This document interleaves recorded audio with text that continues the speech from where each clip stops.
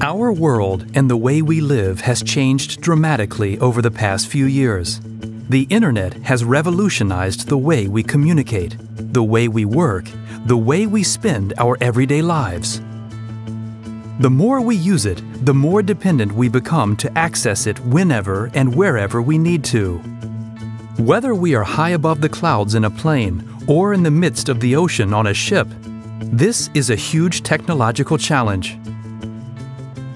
At the University of Luxembourg's Interdisciplinary Center for Security, Reliability and Trust, a team of computer scientists and engineers is working on a solution. How can high-speed internet be made available in remote areas, over the ocean, or in the skies? This is where you need the satellites because you can access the satellite wherever you are.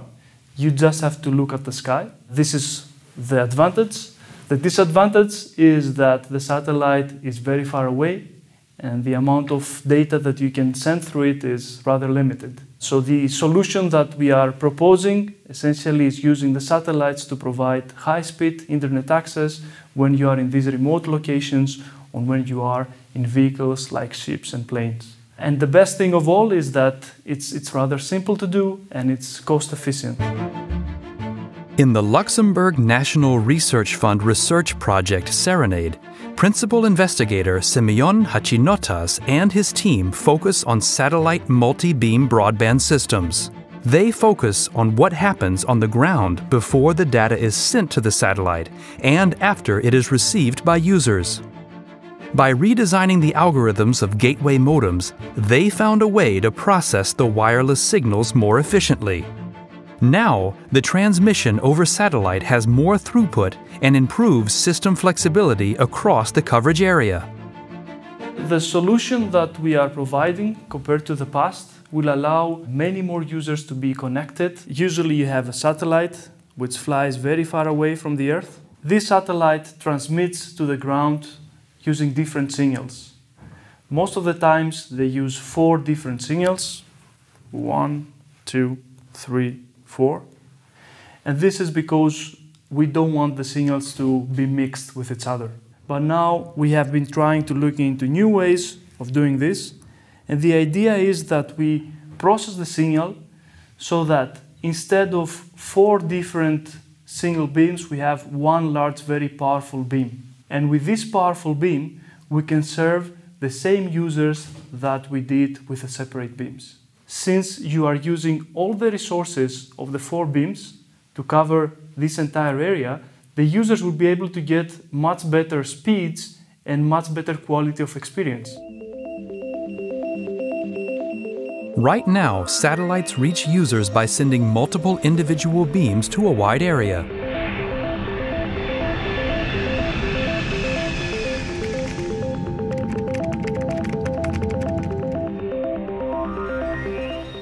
We propose using powerful, flexible beams among all users.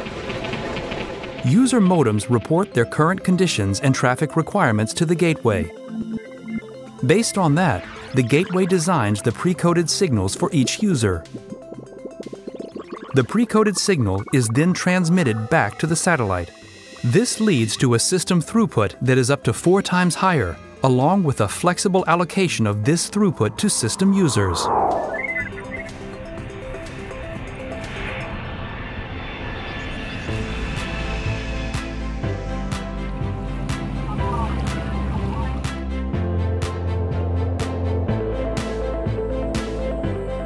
The end result is high-speed internet access wherever you can look at the sky. These are all the flights that you have going from the US over the Atlantic to Europe.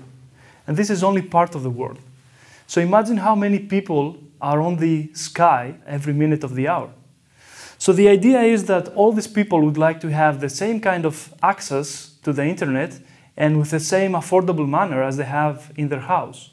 And this is what our technology is enabling. You could essentially quadruple the amount of data that you send to these users by just changing your ground equipment. All of these planes will be able to get high-speed internet. People will be able to communicate with their relatives, to watch movies, to listen to uh, audio or music, And this is going to be exactly as if they were sitting in their living room.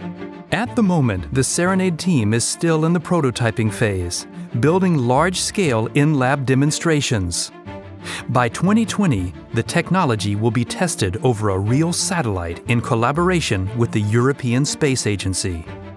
Together with partners from the industry, they want to bring their technology to the market as soon as possible. Everybody is really motivated, uh, thinking that this might end up in the planes that we're using every day, or in the ships, or in some remote area uh, in a developing country where they don't have access to the internet. So this gives motivation to everyone, it gives extra enthusiasm to work hard and try to make it as soon as possible into a real product.